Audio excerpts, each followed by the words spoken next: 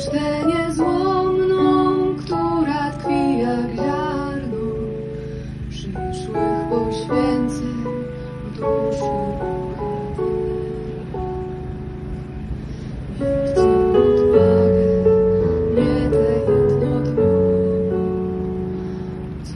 Rozpaczliwym przedsięwzięciu pryska, lecz te co wie.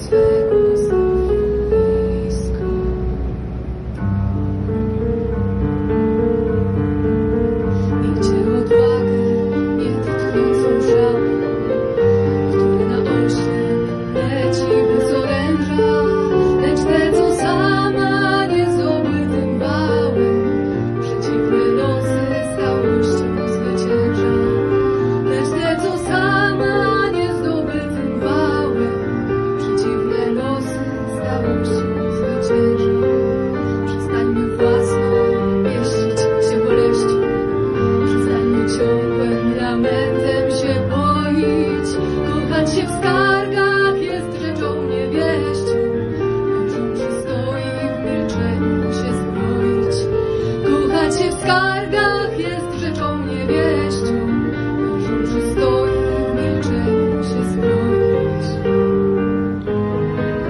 Lecz nie przestańmy czcić świętości swojej i przechowywać ideałów czystość.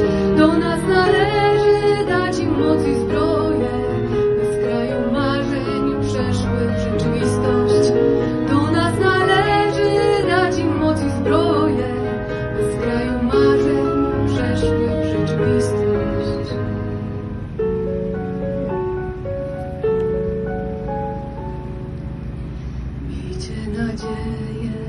tę lichą marną.